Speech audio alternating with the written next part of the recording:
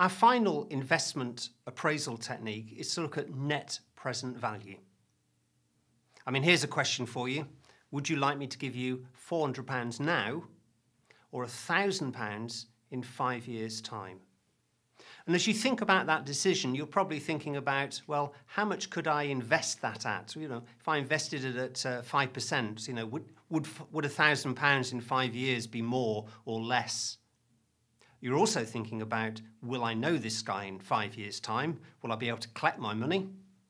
You're thinking about the risks of investment.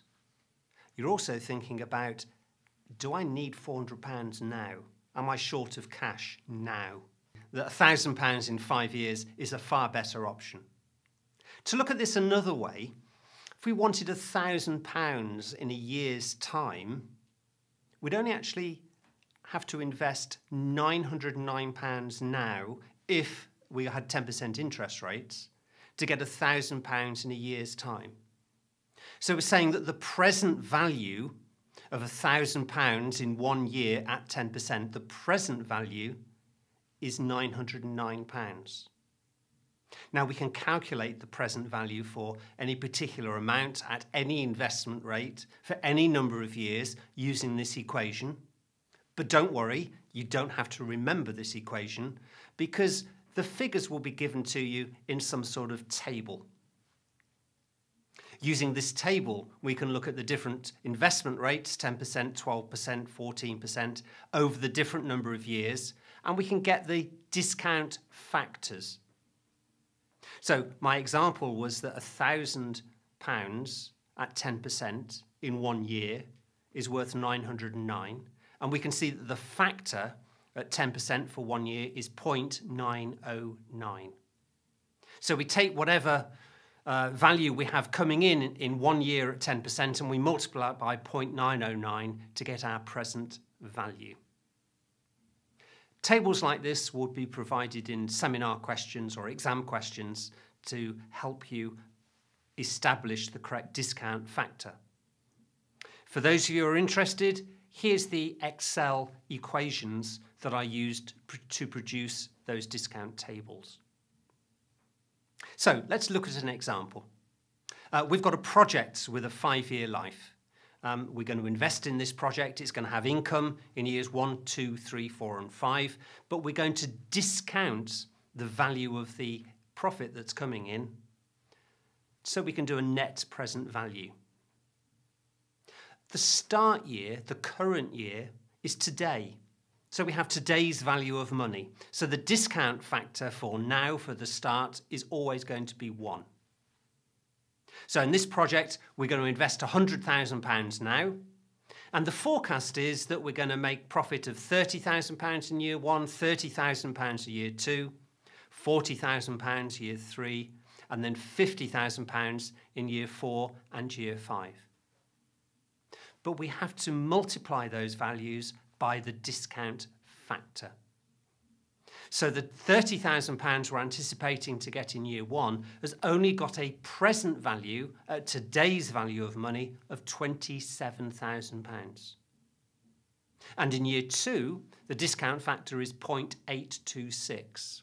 So the £30,000 we're getting in year two is only really worth, at present value, £24,700. Now, the money going out is negative.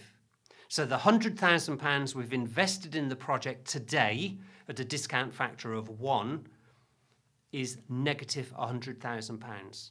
And then we look at the positive present values to get the total present value or the net present value. And for this first project, the net present value is £47,000. Uh, let's have a look at Project B.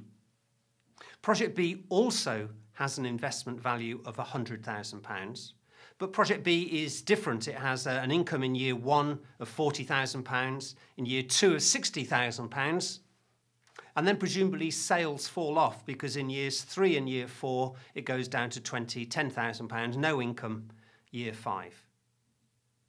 Let's have a look at the discounted cash flow or the present value of those money.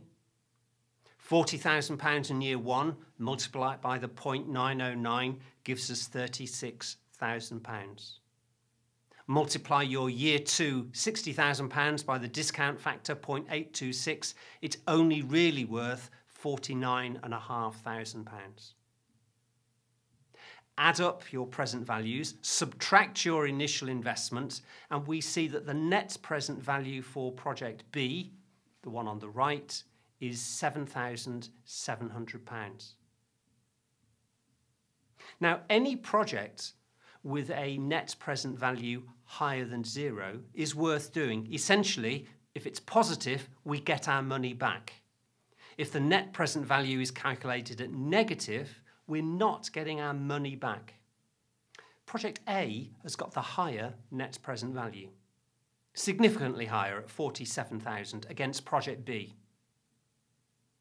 But I want you just to look to see what decision you'd arrive at if you calculated the payback for Project A and the payback for Project B.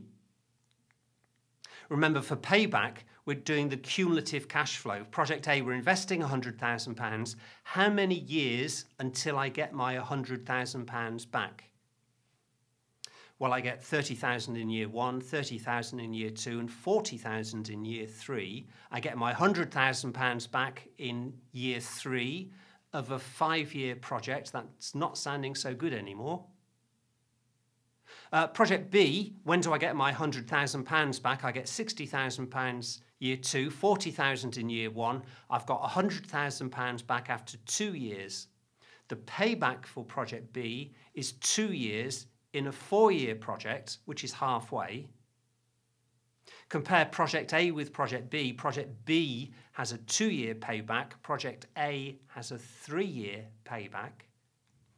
A company choosing payback would probably go for project B, but the net present value of project A is far higher. Payback ignores the benefits after the payback point. So that's the drawback of using payback. Any project with a net present value greater than zero is worth doing. It's going to make you money. Uh, but that doesn't mean you will do it because um, project B has a net present value of greater than zero, 7,000, but project A was much better. Now, project A and project B both had investments of £100,000. How do we compare the two projects if they're different? So we can compare, uh, we can express the net present value as a percentage of the capital invested in order to compare projects that have different investment values. So what we'll do is we'll take the net present value and we'll divide it by the capital invested to get some sort of profitability index. And this will allow us to compare project A with project B if they have different investment values.